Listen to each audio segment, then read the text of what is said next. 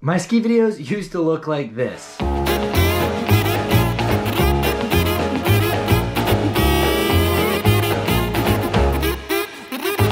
But now I film my ski videos like this.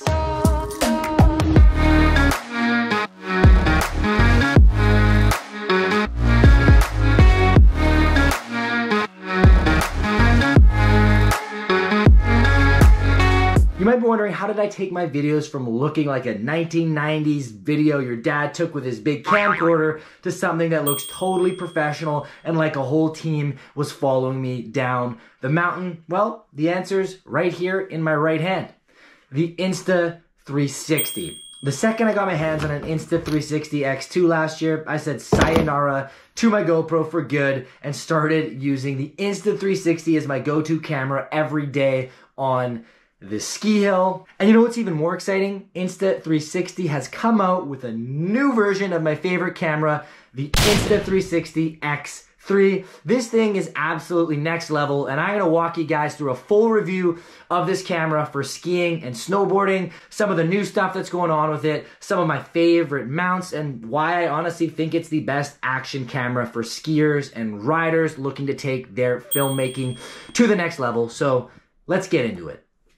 So let's start off with the thing you guys are probably wondering most. Why do I love the Insta360 X3 so much and how does it compare to your traditional action camera? Well, the biggest reasons I love this camera is that you miss none of the action. Long gone are the days of filming with a head cam or filming with a chest cam going off a cliff and having the camera face down and filming your knees and your crotch for the rest of the run and just having to listen to the audio you can be confident that you're not going to miss a single thing when you film with the Insta360 X3, no matter which mount you decide to put it on. I absolutely love the creativity this company brings to the table, and they're constantly iterating their mounts and figuring out ways to capture some of the coolest angles I have ever seen. And lastly, I absolutely love the Insta360 Studio app and all of its AI technology. Whether you want to edit on your phone or your computer, Insta360 makes it super easy and super user intuitive to create some amazing, amazing video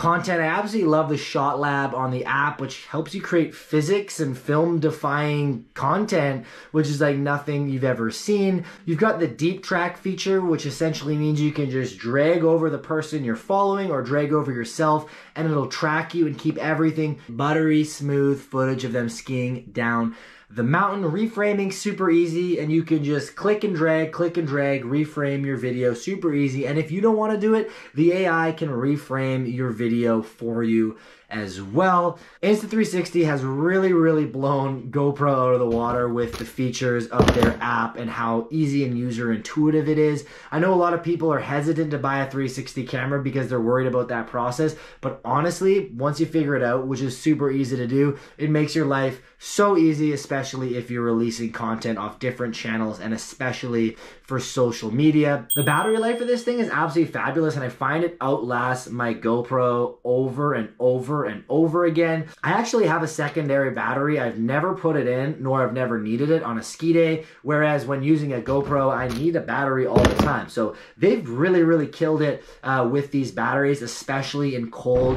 mountain, and adverse conditions. So battery life is simply just something you don't have to worry about and it's such a nice thing when you don't have to you know fiddle around with these things in cold mountain conditions the only nitpicky thing I had about the Insta360 before was the microphone, but I'm finding this new microphone they have on here to be super solid, whether it's on the head or on the pole. Um, the sound quality is pretty darn good. Okay, three, two, one, let's try it, boys.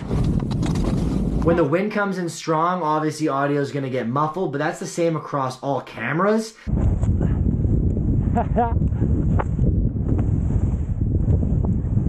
you! When the wind isn't too wild, this thing does a really, really great job at capturing the human voice uh, who's skiing. So I'm pretty satisfied overall with the audio. So what's new about the Insta360 X3? Well, there's a couple key things they've changed on this camera which are super sick. The first is this new touchscreen right here. We'll turn this bad boy on. You can play videos, you can drag around like as if you're on your phone and see every angle in 360.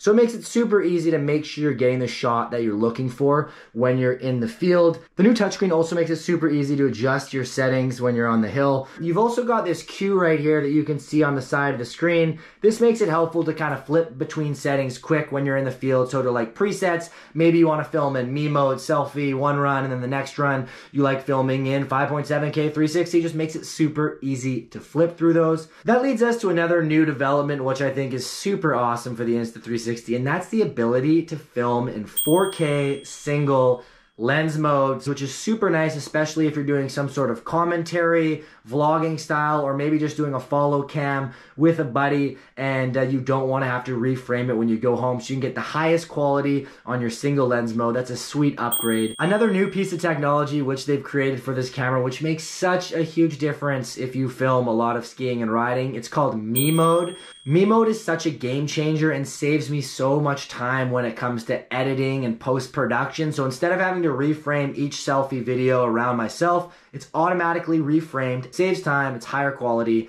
Now I've walked you through some of the more technical aspects of the Insta360 X3 and some of the things I really love about it, but uh, I think it's time to take this thing to snow and, uh, and do a mount test once again. So I'll see you on the mountain. Hiya! No, this isn't a sword for fencing. This is the invisible selfie stick. The Insta360 invisible selfie stick is one of my favorite ways to mount the cam. You can hold it while you're skiing or boarding. You can't see the pole at all, and it gets such a cool view of you while you're riding. The stick's pretty light, never bothers me. It's awesome to use to run. One of my favorites, and it's the absolute classic. I always keep it in my ski jacket pocket. Insta360 took the invisible selfie stick to the next level recently. It's not a baton, no, it's not for whacking things, and it's not a Tenkara fishing rod. This is the three meter invisible selfie stick. This is one of the most epic things that I think Insta360 has made as of recent. It's absolutely insane and gets completely epic drone type shots. It's on the heavier side, so it's harder to use while you're skiing down the mountain, but you can still run it on some more casual runs. Super sick for looking over cliffs, or ridges, or if you're skiing along a ridge, it is so cool and looks like a drone shot that's way above you. I don't even think the camera can do the length of this any justice. I can walk down the mountain a little bit here. Look at this thing. You probably can't see me. Maybe you can just see the top of my head. This is the height of it. It's three meters high. Absolutely nuts. Literally longer than my longest fishing pole. Look at this. Just look at it. Ridiculous. Three meters of invisible selfie stick force, baby. James, what's in your mouth? That's absolutely ridiculous. this is Insta360's new bite mount. You can mold it to your teeth like a mouth guard if you put it in some boiling water. I haven't done that yet. It gets a super cool angle when it's on your mouth and you can hold it in there. I think it looks kind of cool for jumping off things or for powder, super immersive POV type look. You can put it either way. You can kind of change the angle here depending how you want it. The way that I've liked to do it is kind of just straight out like this. Thought it looked cool. Or you can go kind of down like this. And it gets this kind of super cool immersive shot. The bite mount's pretty cool, but it's pretty impractical to ride with all the time. But it's still kind of a fun thing to test out. Why not, right? Maybe good if you're swimming, stuff like that. It's got this neck thing, so you're not gonna lose it if it falls out of your mouth. Makes me create a lot of saliva. You can always put your Insta360 on your head with a normal helmet mount. That's how I run it most of the time and what I really like. But if you want to get a really cool shot, give the unicorn mount a try. This looks insane, but let me tell you, it gets a super cool POV angle. When there's pow splashing your face, it looks awesome. Or when you're ripping downhill in front of you, it also looks awesome. Kind of gets the whole body in the shot. It's a little bit heavy on the goggles, but isn't so bad. You kind of get used to it. Tighten your goggles up, cinch your helmet up. You know, gets the, gets the job done. Look at this funny thing on my back. Looks like something Catwoman would wear, but it's super cool. It holds the camera over your shoulder for a super cool POV angle. You can even double up the amount of kind of rods that you put in here. So if you put two rods, the perspective is super cool over your head. Maybe if you're skiing on a ridge or something like that, something super steep, straps easily right onto a backpack. It's a super cool mount. I'm absolutely loving it. It's hands-free, just kind of stays behind you, jiggles behind you, and uh, you don't even notice it, but it gets kind of that full immersive POV, and the higher you make the rod, the cooler it looks. So that's it. That's all. If you have any questions about the Insta360, leave them in the comments. I would be happy to answer. If you want some inspiration, check out their Instagram profile at Insta360.